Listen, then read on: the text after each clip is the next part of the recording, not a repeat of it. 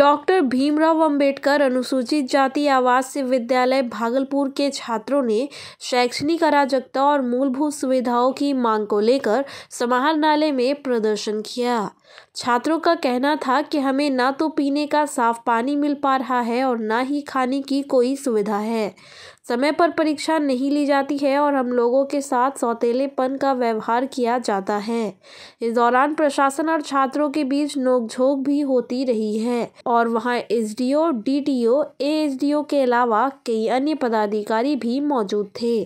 छात्रों की शिकायत थी कि जिलाधिकारी सुब्रत कुमार सेन ने इसके पहले सारी समस्याएँ दूर करने का आश्वासन दिया था पंद्रह दिन बाद भी समस्या का समाधान नहीं होने पर छात्रों का गुस्सा फूट पड़ा और डीएम कार्यालय के सामने नारेबाजी की इतना ही नहीं आक्रोशित छात्रों ने कचहरी चौक को भी घंटों जाम कर दिया उस समय अफरा तफरी मच गई जब फाटक तोड़ते हुए छात्र डीएम के कार्यालय तक पहुँच गए छात्रों को काबू करने के लिए सीआईटी और पुलिस को भारी मशक्कत करनी पड़ी मांग हम लोग का डीएम से मिलना उसी से हम लोग मांग कैमरा मैन डीएम से हम लोग से मांग। मामला सर यहाँ पे सर टीचर का कमी है सर। टीचर टीचर पहली बात टीचर कमी है सर। क्लासरूम सर सिर्फ़ पाँच क्लासरूम है सर। और पाँचों में सर प्लस टू तक वहाँ पे पढ़ाई कर रहे हैं सर। प्लस टू तक सर टीचर यहाँ पे सर ना साइंस का टीचर है ना फिजिक्स का टीचर है ना बायोलॉजी का टीचर है। ये सब कोई टीचर नहीं है सर हम लोग सर बहुत बार सर डीएम सर लगभग पंद्रह दिन हुआ है सर जाने का हम लोग हम लोग का आश्वासन दिया था तीन दिन में जो हॉस्टल का रिपेयरिंग है लाइब्रेरी है ए, कहते हैं कंप्यूटर क्लास है सब खुल जाएगा। लेकिन सर कुछ नहीं हुआ सर डीएम भी है सर कुछ नहीं हो पाएगा भागलपुर के सीनियर एसपी बाबूराम ने पदभार ग्रहण करने के बाद सबसे पहले अनुसूचित जाति, जनजाति, महिला थाना का निरीक्षण किया और वहाँ की समस्याओं से अवगत हुए। उन्होंने चार दीवारी के आसपास अतिक्रमणकारियों के अवैध कब्जे को गंभीरता से लेते हुए इसे जल्द हटाने का निर्देश दिया। उन्होंने वहाँ हो रहे भवन निर्माण के कार्यों का जायजा भी लिया और गुणवत्ता का विशेष ध्यान रखने का निर्देश दिया। एसएसपी ने शस्त्रागार में रखे शस्त्रों का निरीक्षण करने के बाद जवानों का हौसला बढ़ाते हुए कहा कि हम दूसरों की रक्षा के लिए हैं और ये हथियार हर समय तैयार रहना चाहिए। इस दौरान उन्होंने शस्त्रागार के अधिकारी को शस्त्रों की सुरक्षा को लेकर कई आवश्यक निर्देश भी दिए। आज यहाँ पर पुलिस लाइन का पूरे परिसर का हम लोगों ने निरीक्षण किया है। क्योंकि मैं पहली बार अभी जिला में कल ही योगदान दिया हूँ तो आज पहली बार पुलिस लाइन आए थे। लाइन डे है आज। तो यहाँ पर एस सी महिला थाना का जो काम है वो निर्माणाधीन है अभी। इसका भी निरीक्षण किया है इसकी क्वालिटी का। इसके अलावा कुछ बाउंड्री का इशू है, उसको देखा है। इस विवाद के समाधान का हम लोग प्रयास करेंगे कि जल्दी बाउंड्री कंप्लीट हो। और पुलिस लाइन के बहुत सारे अन्य अनेक कार्य हैं जिनका काम जिनका निरीक्षण हम लोग कर रहे हैं ज़िले में शराबबंदी को सफल बनाने के लिए पुलिस जहाँ हर संभव प्रयास कर रही है तो वहीं धंधेबाज इसकी तस्करी करने से बाज नहीं आ रहे हैं। डीएसपी विधि व्यवस्था डॉक्टर गौरव कुमार ने गोपनीय सूचना के आधार पर वाहन चेकिंग के दौरान एक ऑटो से भारी मात्रा में अंग्रेज़ी शराब बरामद की है। डॉक्टर गौरव कुमार ने बताया कि बाईपास टीओपी के सामने सघन वाहन जाँच अभियान चलाया जा रहा था। कि इसी दौरान तीन तस्करों को एक ऑटो से इंपेरियल ब्लू ब्रांड की एक सौ इकसठ बोतल के साथ गिरफ़्तार कर लिया गया। शराब की ये बोतलें झारखंड से गोड्डा लाई जा रही थी, जिसकी डिलीवरी भागलपुर के परबत्ती में होनी थी। गिरफ़्तार तस्करों में परबत्ती का दीपाली कुमार, सहदेव कुमार और बीरू दास बताया जा रहा है।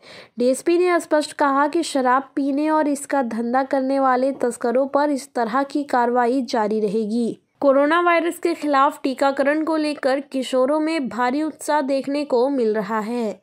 मंगलवार को आनंदराम ठंडनिया स्कूल में किशोरों के साथ आसपास के 15 से 18 वर्ष तक के युवाओं ने टीके लगवाए। भाजपा नेता मोंटी जोशी ने टीका लगवाने वाले किशोरों और उनके परिजनों को बधाई दी। उन्होंने इस अभियान में बड़ी संख्या में उनकी भागीदारी की अपील करते हुए इस मुहिम के लिए प्रधानमंत्री नरेंद्र मोदी को धन्यवाद दिया। सब कुछ बहुत स्मूथली हो गया, दर्द भी नहीं हुआ, सबको वैक्सीन लेना चाहिए। और प्राइम मिनिस्टर हमारे लिए इतना कर रहे हैं, उसके लिए बहुत थैंक यू आज आनंद राम हननिया स्कूल में आप देख रहे हैं कि कोविड का टीका लग रहा है। पंद्रह से अट्ठारह वर्षों के जो युवा हैं, जो युवती हैं, उनको टीका लग रहा है।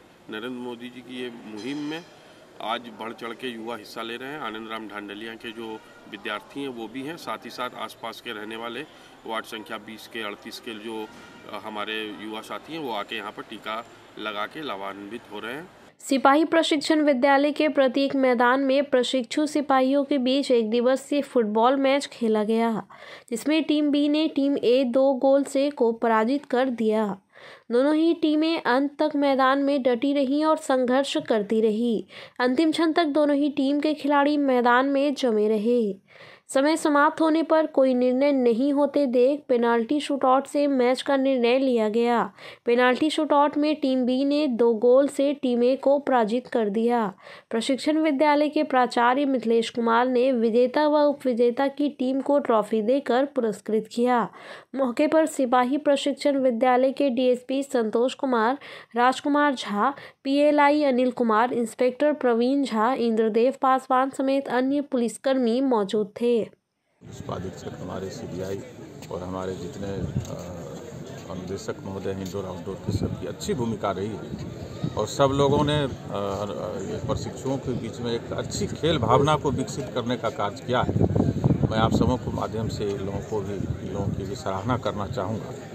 जिन्होंने एक खुशनुमा वातावरण पैदा किया है और प्रशिक्षकों, प्रशिक्षुओं के प्रशिक्षण को एक आसान और आनंदमयी वातावरण में प्रशिक्षण देने का कार्य किया है। भागलपुर नवगछिया एसडीओ यतेंद्र कुमार पाल और एसडीपीओ दिलीप कुमार ने पुलिस बल के साथ नवगछिया बाज़ार में मॉल, ठेला, रिक्शा, ऑटो व पैदल चलने वाले लोगों के बीच मास्क को लेकर जागरूकता अभियान चलाया।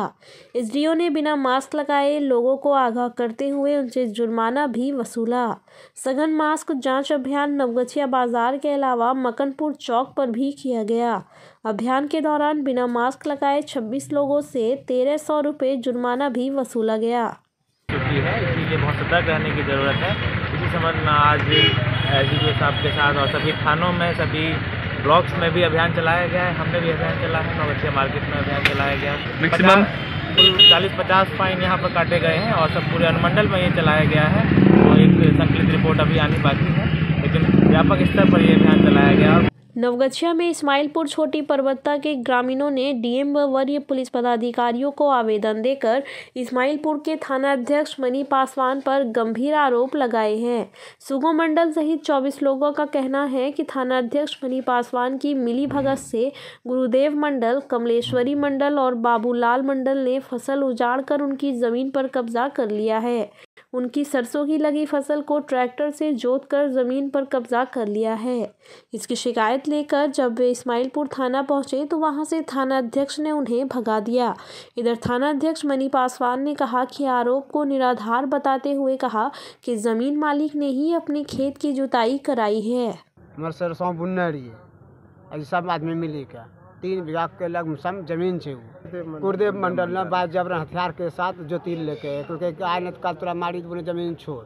सुल्तानगंज के कृष्णानंद स्टेडियम में जाह्नवी गंगा क्रिकेट टूर्नामेंट का पहला मैच बरियारपुर एवं अजगैबीनाथ फाइटर 11 बी के बीच खेला गया। टूर्नामेंट का उद्घाटन विधायक प्रोफेसर डॉक्टर ललित नारायण मंडल, नगर सभापति नीलम देवी, टूर्नामेंट के अध्यक्ष अजीत कुमार ने संयुक्त रूप से किया। वहाँ मौजूद लोगों ने मैच का भरपूर आनंद लिया और इसके लिए आयोजक को बधाई दी।